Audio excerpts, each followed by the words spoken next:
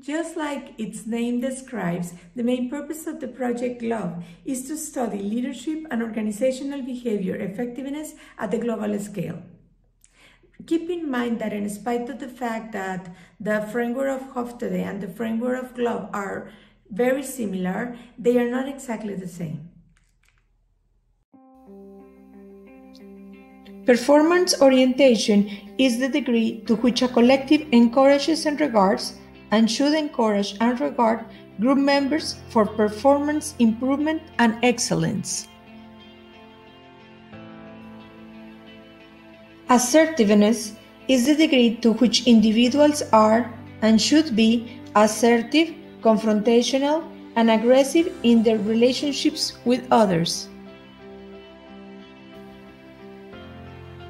Future orientation is the extent to which individuals engage and should engage in future oriented behaviors such as delaying gratification, planning, and investing in the future.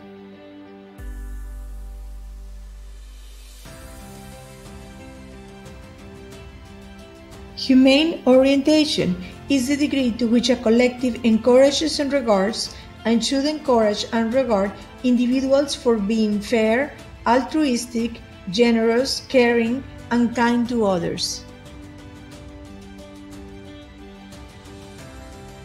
Institutional collectivism is the degree to which organizational and societal institutional practices encourage and regard and should encourage and regard collective distribution of resources, and collective action.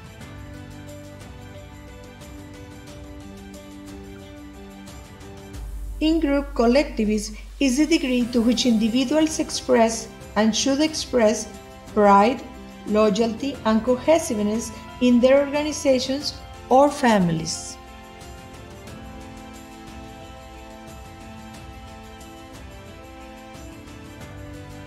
Gender egalitarianism is the degree to which a collective minimizes and should minimize gender inequality.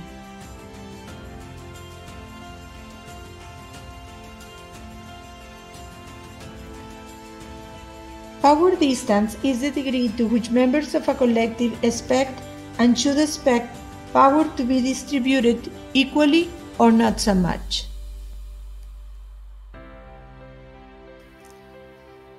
Uncertainty avoidance is the degree to which a society, organization, or group relies and should rely on social norms, rules, and procedures to alleviate unpredictability of future events.